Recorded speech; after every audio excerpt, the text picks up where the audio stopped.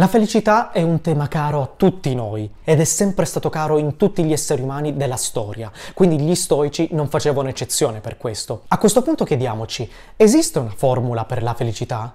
Beh sì, esiste. Non solo una in realtà, ne esistono ben tre di formule e con le quali gli stoici si sarebbero trovati completamente d'accordo e con questo video voglio condividerle con voi. Ma prima proseguiamo per gradi e chiediamoci perché tendiamo ad essere infelici molto spesso. Da quando ci sono i social la nostra vita è cambiata e si fa molto presto nel dire che ci stanno rovinando la vita al giorno d'oggi. Io non sono per niente d'accordo con questa cosa e penso che infatti i social siano un cambiamento epocale e altamente positivo nella nostra esistenza. Sta semplicemente veramente come tutte le cose a noi decidere come usarli. Ricordo infatti che anni fa, quando ero uno studente, ero solito passare ore e ore del mio tempo su Facebook e su Instagram, sì allora si usava ancora Facebook, a vedere le vite di tutte le altre persone. E guardandole non facevo altro che provare insoddisfazione per la mia vita perché sembravano tutti più felici di me, sembravano tutti più soddisfatti e realizzati di me. Io mi sentivo molto indietro rispetto a queste persone. E questo sentirmi indietro mi creava un senso di urgenza con una insoddisfazione passione perenne. Insomma, quindi le vite di tutti mi sembravano perfette, o così sembrava, perché effettivamente ci ho messo tanto tempo per capire che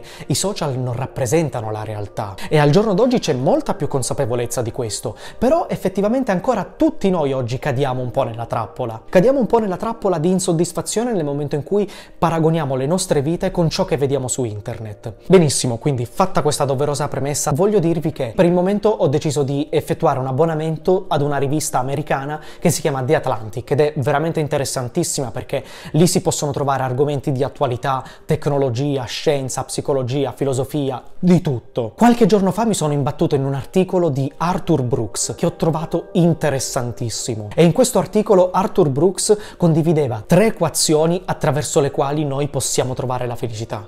E voi sapete benissimo, io da buon ingegnere nel momento in cui ho sentito la parola equazioni mi si sono subito illuminati gli occhi e quindi l'ho letto immediatamente. Senza ulteriori indugi condividerò con voi queste tre equazioni attraverso le quali noi possiamo trovare la vera felicità nella vita. La prima equazione dice che la felicità, intesa di più come benessere, è la somma delle circostanze che ci succedono, abitudini e genetica. La componente genetica che cosa rappresenta? Rappresenta il grado di benessere a cui noi naturalmente torniamo nel momento in cui sperimentiamo un, un evento positivo. Bisogna capire che il nostro corpo cerca sempre di ritornare ad uno stato di equilibrio che si chiama omeostasi e questo stato di equilibrio a cui torna il nostro corpo è il nostro set point di benessere genetico. Quindi ci sono persone che hanno un set point molto più alto e quindi tendono naturalmente ad essere più felici e persone che invece ce l'hanno naturalmente più basso. Questa componente della genetica è una componente che noi non possiamo controllare ed incide per un 44-52%, ma possiamo migliorarla semplicemente in questo modo. Se siamo per esempio dei tipi introversi, è dimostrato che essere una persona più estroversa porta più felicità.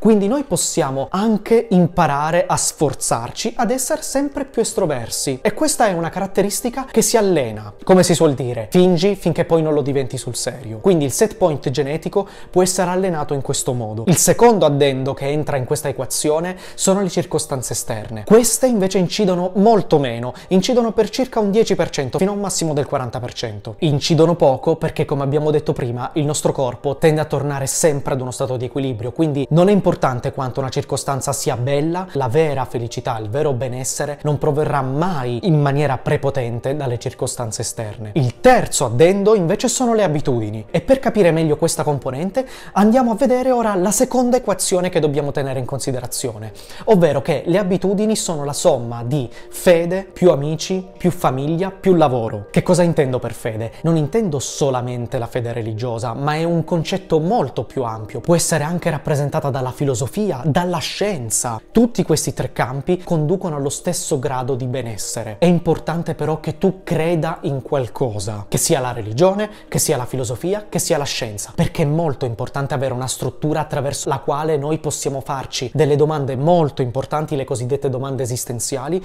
e cercare di trovare una risposta. Per quanto riguarda invece le componenti di amici e famiglia, noi possiamo migliorarle semplicemente amando e stando a contatto con queste persone. Il punto è che La felicità è amore, punto, non c'è altro da dire. E infatti anche Seneca diceva, non è difficile, se vuoi essere amato, ama. La chiave di tutto in questo caso è mantenere legami di amore con queste persone. E poi parliamo ora del lavoro. Non è importante qui che tipo di lavoro fai o quanto guadagni, perché i soldi non comprano il benessere e ci torneremo tra poco su questo punto. La componente di felicità che deriva dal nostro lavoro ha a che fare con quanto questo lavoro sia significativo in termini di stiamo servendo le altre persone, il mio contributo manda avanti la società, quanto significato riesco a trovare nel mio lavoro. Ed arriviamo ora alla terza equazione che dobbiamo tenere sempre con noi, ovvero prima ho parlato del fatto che i soldi non comprano il benessere. Che cosa intendiamo con benessere? Benissimo, il benessere è dato dal rapporto tra ciò che abbiamo e ciò che vogliamo avere. Quindi come possiamo vedere da questa equazione, maggiore sarà il denominatore, quindi maggiore sarà ciò che vogliamo avere, minore sarà il nostro benessere. Ecco perché i soldi non comprano il benessere. Che cosa comprano i soldi? I soldi comprano botte di dopamina. Perché? Nel momento in cui noi otterremo qualcosa, nel momento in cui noi aumenteremo il nostro tenore di vita con i soldi, quindi andando a comprare cose più costose, il nostro cervello ci farà sentire veramente, veramente tanto felici. E allora noi che cosa faremo? Siccome però il nostro corpo tende all'omeostasi, noi col tempo, col passare del tempo, neanche tanto tempo in realtà, non faremo altro che abituarci a quel tenore di vita. Ma noi saremo nel frattempo diventati drogati, diventati dipendenti da quella dose di dopamina, quindi per sentirla nuovamente non faremo altro che comprare cose sempre più costose, sentendoci quindi perennemente insoddisfatti, perché in questo caso andremo a spendere anche soldi che non avremo, cadendo quindi in una spirale di infelicità. Ecco perché i soldi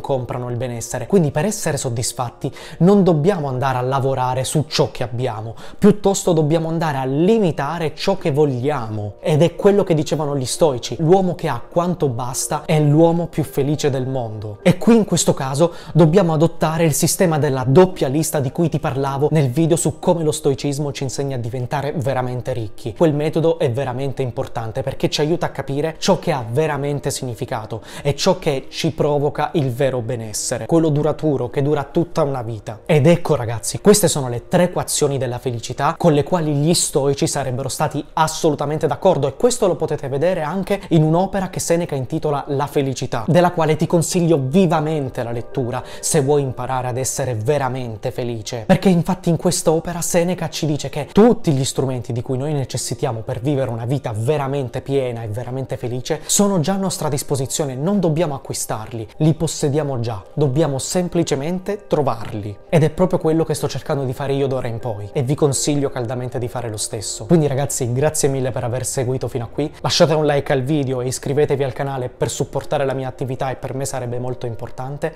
e noi ci vediamo alla prossima. Ciao a tutti!